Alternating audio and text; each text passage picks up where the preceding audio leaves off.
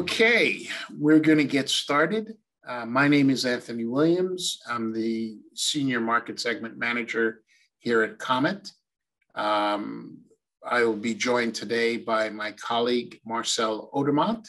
Marcel is the Product uh, Manager for the Mesofocus technology and the iVario uh, generator uh, platform that the tube runs on.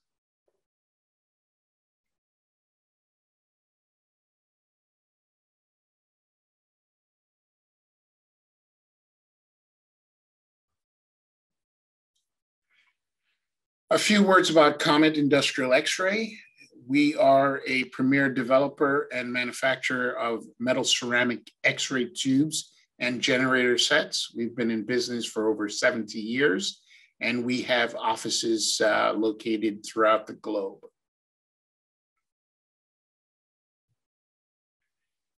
New technologies like additive manufacturing and high demand for detection and measurement of small features especially in aerospace and automotive parts, ask for high resolution. And at the same time, the inspection systems need to be used in a production environment or at least higher throughput. And so, what we're trying to always balance is the need between resolution and inline inspection. And to date, what customers have had to accept is a trade off. Um, as you're aware, we have uh, the X, HP11 tubes, which is a sealed mini focus tubes. Uh, here, uh, resolutions go from about 100 micrometers to a few millimeters. And uh, on the other side of the landscape, uh, when you go for resolution, the uh, sole choice to date has been open microfocus, which does provide very excellent high resolution, um, but uh, tends to be more ideal for a lab environment uh, just due to uh, some complexities in how um, it's the tube is maintained and operated, right? But here, uh, typically when you look for resolutions below 100 micrometer to um, one or two uh, micrometers or in nanofocus where you would go below uh, one micron. So it creates a gap, right? And so what the mesofocus technology does is it fills that gap. And what is mesofocus technology? It's a sealed microfocus tube that fits within the production space, right? Uh, giving you resolutions from 100 micrometer down to 25 micrometer. It is uh, not a uh, um, replacement for open microfocus, right? Uh, open microfocus is still the best tool when you need to go below 20 micrometer resolution. So if you need uh, spatial resolution of 10 micrometer, four micrometer, you definitely need open microfocus. But if you are looking um, at uh, resolutions or features, you want to detect and measure features that are above 25 micrometers, but less than 100 micrometers, then uh, mesofocus technology does fill that gap. And at this point, what I'd like to do is introduce my colleague, Marcel Odermatt. I'll turn the presentation over to him, and he will take you through the technology in more detail. Marcel. Thank you, Anthony. So for the mesofocus, uh, what we have heard, we have on one side uh, the the great capability of the seal tubes, uh, which perform well in production, and we have on the other side the resolution, uh, which is delivered by open microfocus tube, and here for the mesofocus, our concept was to uh, combine the, the best out of the two worlds. On one side, the hassle-free and the uh, robust sealed uh, metal ceramic X-ray technology, uh, which is made for production environment with excellent uh, resolution capabilities. On the other side, uh, provided from open microfocus tubes. And we will have now a look what we got out of this. Next slide, please. So there are the two sides. There is on one side the resolution. You need to see what you need to see. But uh, at the other side, there is the inline uh, capability, uh, how it performs in production. Let's now have first a look at the resolution side. On the resolution with the mesofocus technology, we have uh, presettings of focus spot. We see here the three presettings we have in this uh, mesofocus uh, 225 kV tube. On, on the top, that's an image of the focus spot, how it looks like. It's very round, it's very symmetric. Uh, you have a very good uh, energy or dose uh, distribution over the, over the focus spot. And then on the focus spot measurement with the penny method, the ASTM, you see the focus, it's a, it's a little bit small to see, but what you, what you uh, see here is the 50 micrometer focus spot, 130 micrometer focus spot, and 200 micrometer focus spot, all very symmetric and very round. Power is always one watt per micrometer, means that 50 micrometer, uh, you have 50 watt, 130 micrometer focus spot delivers uh, 130 watt, and then the 200 micrometer with a 200 watt. On the resolution side, that's important to keep in mind. We have always, uh, what we can resolve is always half of the focal spot size. In double wire, it means uh, down to D16 on the 50 micrometer focal spot or uh, 25 uh, micrometer. Next slide, please. Another uh, very important feature of this uh, mesofocus tube is the wide uh, field of view. We got a 20 degree target, which allows us to have a 20 degree in each direction uh, field of view. Means plus and minus 20 degree, 40 degrees along the tube axis and 40 degrees perpendicular to the tube axis. And this allows to, to resolve on one side, to have bigger parts inspected at, uh, inspected at one shot, or uh, get a, a better uh, uh, magnification. Next slide, please. This slide here shows a, a comparison, typical comparison between a, microfocus and mesofocus. We have aligned it uh, on the axis, on the horizontal axis, on the resolution. So 50 micrometer of resolutions on the very left side. Uh, there we see it's uh, about the same.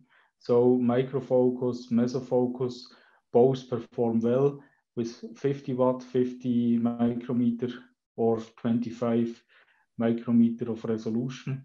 Of course, as uh, Anthony mentioned, at the beginning, if you need to see smaller details, if you need to resolve 10 micrometers, 5 micrometers, the open microfocus provides the possibility what the mesofocus does not. However, mesofocus has then big advantage when it goes up in power. So at 200 watt, the red marked ones there, at 200 watt on the mesofocus, that's uh, the same focus spot we get with a microfocus tube with 130 watt. And also the, the shape, you can see it, it gets, uh, it gets a bit blurry, it gets a bit uh, unsymmetric. Microfocus tends then to, to no more have this very nice uh, focal spot where uh, mesofocus still uh, delivers. Next slide, please. In short, the specification, which uh, belongs to the resolution side of the balance. We got these three focal spots, 50, 130, and 200 micrometer, always at one watt per micrometer of power, means 50 watt, 130 watt, 200 watt. Then a wide kV range, which is uh, very interesting and very important also, especially when you need to inspect uh, composite materials, lightweight materials in combination with metallic parts. Then uh, with one tube, you can use uh, uh, one tube to, to inspect uh, all parts of a component. Then the target angle, which delivers a very, very homogeneous and uh, wide uh, field of view. Uh, next, please. Yes, that was the resolution side. Now, resolution is one thing, but what we want to achieve with this concept of the mesofocus technology is uh, resolution in inline inspection, throughput 24-7. And now let's have a look uh, what it means uh, for this uh, side of the balance. So the mesofocus tube is made for high uptime. It is a reliable and proven sealed tube technology. Everyone knows it. The HP11 tubes, all the metal ceramic, the seal tubes, they perform very well even in harsh environment. They are built for 24-7 operation. There is almost no maintenance uh, required. You don't need a frequent service intervention. It's just, uh, yeah, you can switch it on and switch it off when you don't need it anymore. And on the next day, you can start inspection again without a lot of uh, a lot of conditioning or maintenance. And this at the end all saves cost and time. Why? already with the installation, it's very it's very easy. The tube is uh, is easy in configuration. It's hassle free in in uh, in the installation. It can be uh, installed in in all direction. It can even be moved on a on a on a robot arm. It bases on the on the known and proven uh, sealed tube technology, sealed X-ray modules. And that gives you at the end uh, optimized cost uh, through uh, less maintenance uh, required, no conditioning required, with the the focal spot presets also, which uh, which allows very good uh, resolution, very good image quality right away without the need of of of conditioning and, and frequent recalibration. in short, the specification here uh, belonging to the to the inline and throughput uh, side of the balance. Uh, we have the tube lifetime specified up to more than 25,000 hours on the smallest focal spot and still more than uh, 10,000 hour at uh, 200 watt. Then uh, a very, very smooth and, uh, and, and small dose rate decrease, only, only 8% over 100,000 cycles. We have a, a great uh, stability in, in the emission and also the focal spot drift since the presettings can also be changed from one to the other by software.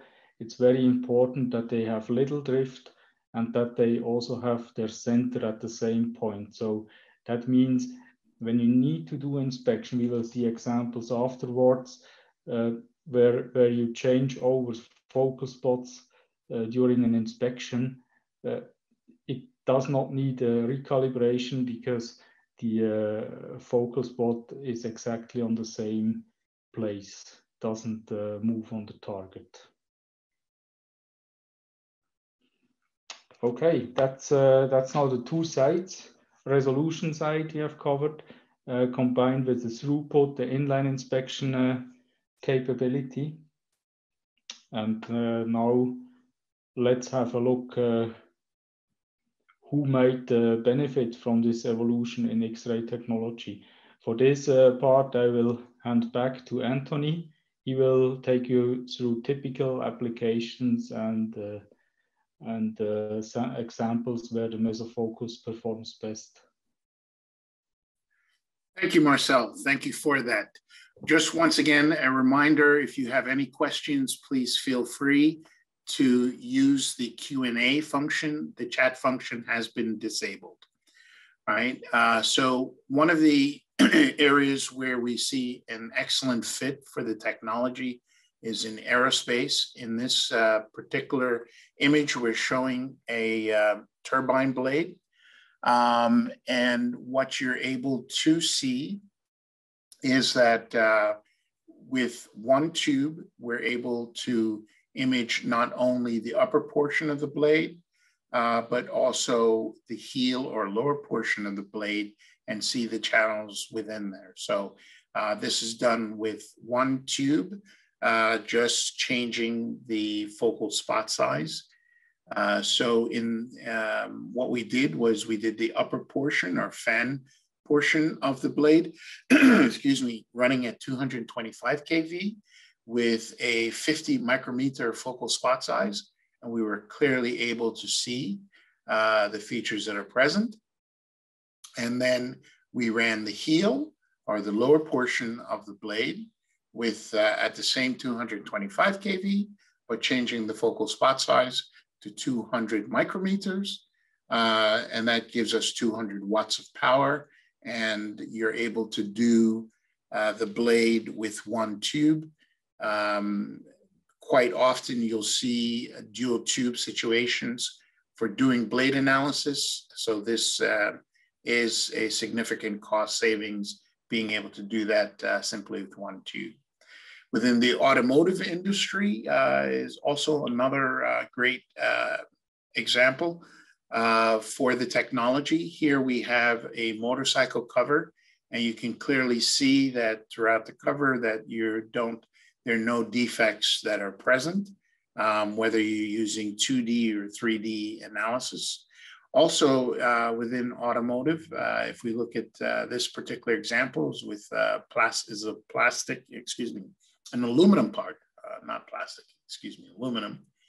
And uh, what we did here is we're showing where we ran the part at 200 micrometer, 200 watts, and then switch focal spot size and did it again at 50 micrometers, 50 watts, and so what we're showing here side by side is just that at the 200 micrometer, you are able to see that uh, they, you have features, right? But at uh, the 50 micrometers, you're uh, able to discern those features in more detail and uh, clearly see what is there. So you get a deeper understanding by being able to simply change focal spot size.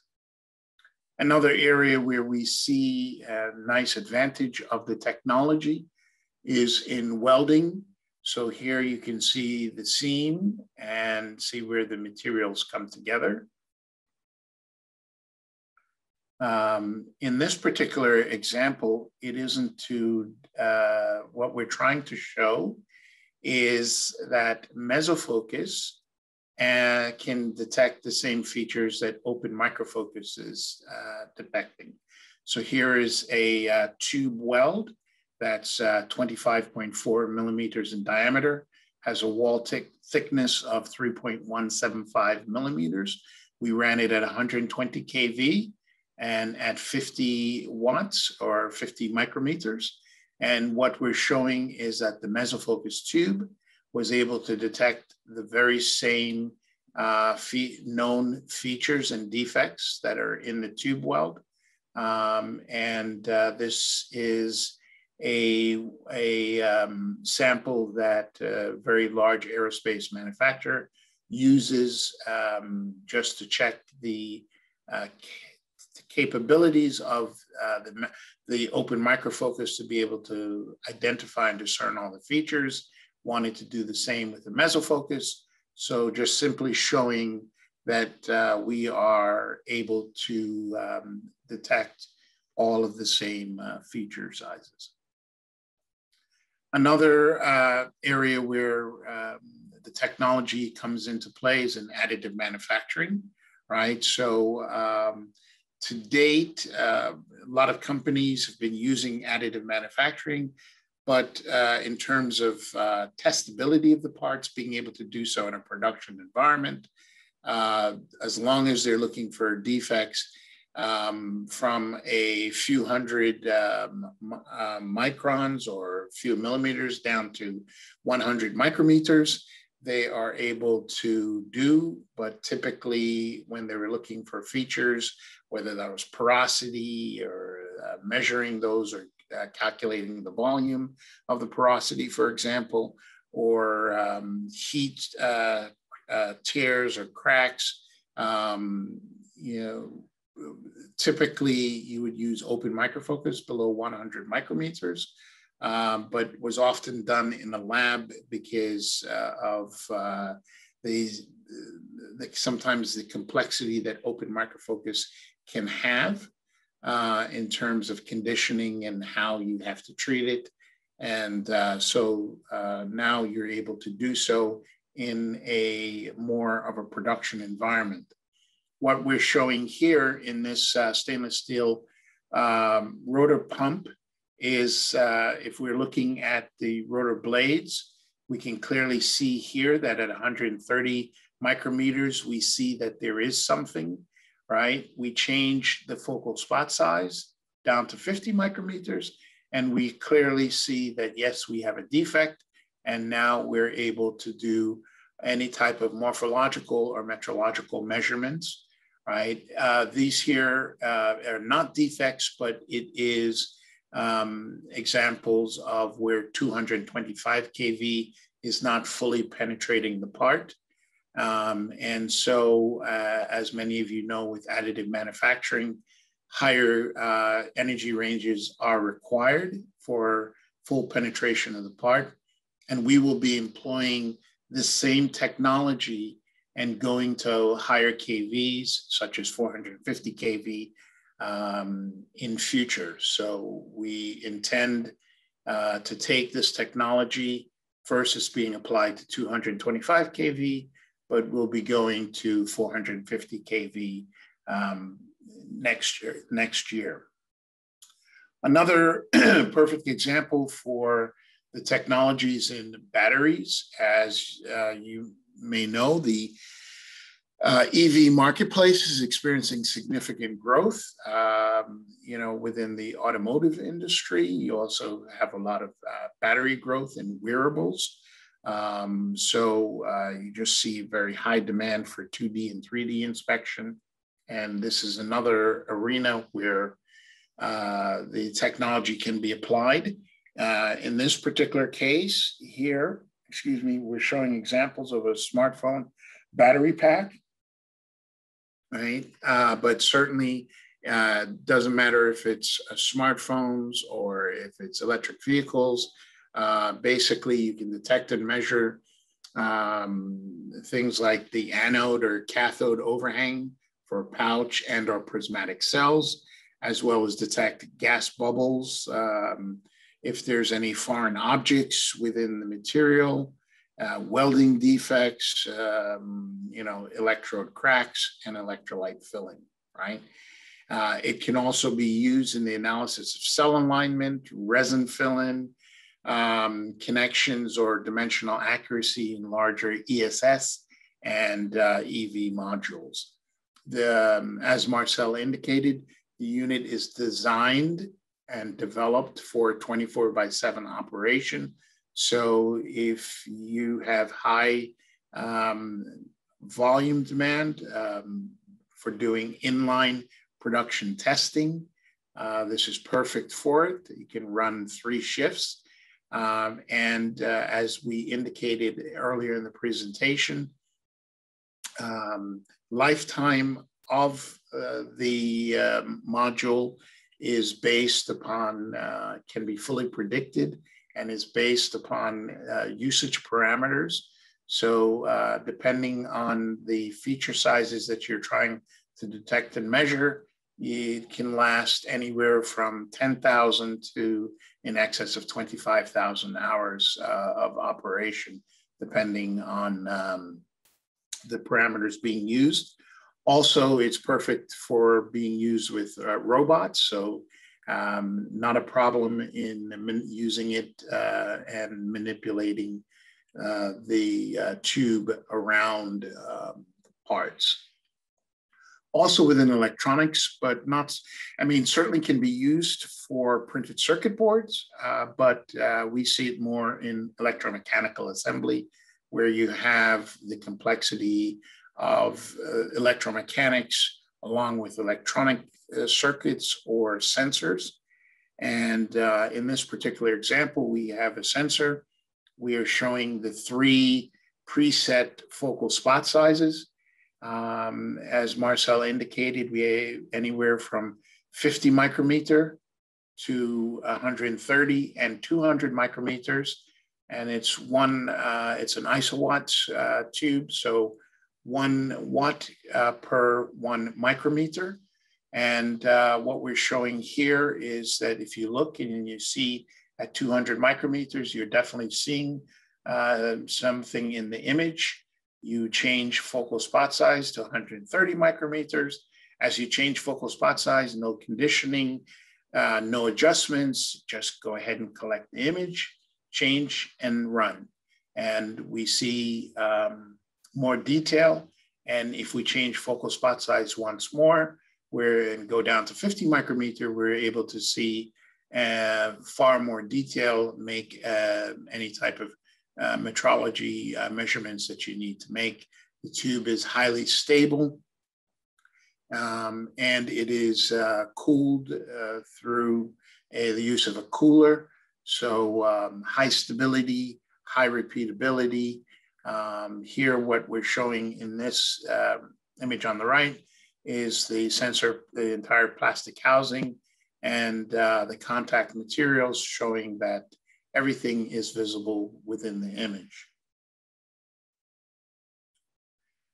Not only is the technology suitable for high density parts, but it is also suitable for low density parts. In this particular image, we have a uh, carbon fiber bicycle rim uh, that we ran at 60 kV with the 50 micrometer focal spot size. Once again, 50 micrometer at 50 watts of power. Uh, and you're able to see that we can see the flaws within the rim uh, along the contact surface of the brake pads.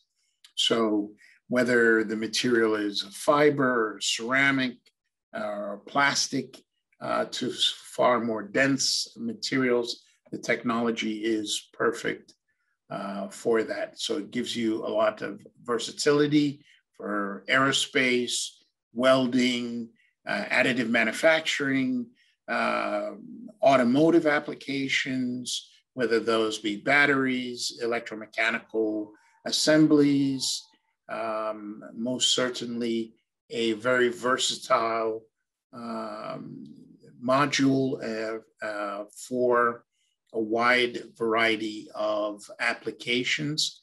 And once again, uh, just want to reiterate that we are not saying that the mesofocus is a one-to-one replacement for open microfocus.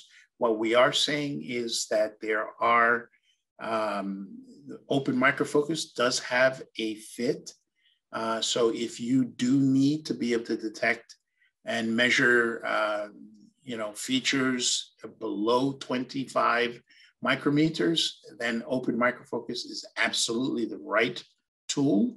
However, if your needs are, are more in the 50, 60, 25, uh, 100 micrometer range, then we're saying that the mesofocus may be a better fit uh, for that uh, technology right? so um, in closing, uh, what it delivers to you, the uh, end user, is high power um, and system availability uh, to start. So um, the very first time that you would uh, take delivery of the tube, uh, there would be a, a typical warm up but um, when you're using the tube normally uh, during operation, no warm up, no conditioning is required. Turn it on and uh, run at full power. Um, and so, you know, unlike open microfocus where you have to uh, have a warm up, uh, you just uh, turn the tube on and it's ready to run and operate and you have full power at all times, 24 hours a day, seven days a week. It's highly reliable, repeatable, and, and uh, extremely accurate. You have high flux rates uh, with the tube. And um, as Marcel uh, mentioned, you have very low maintenance. The only thing that would be required in a single shift operation once a year is supply silicone paste uh, to the high voltage cable. Uh, in a three shift environment, you may want to do that twice a year uh, in six month increments as opposed to once per annum. So, uh, very low total cost of ownership. Um, there are no uh, wear parts, no filaments to replace, no target material to replace, O rings or anything like that. Uh, very easy for unskilled uh, use by unskilled operators. So uh, what we've tried to show here is that the mesofocus provides a excellent balance between resolution and high throughput or inline inspection. Um, and uh, I hope that uh, we have done so to your satisfaction. At this point, I'd like uh, to ask Marcel to join me uh, and uh, we would like to open this up to you to answer any questions that you have.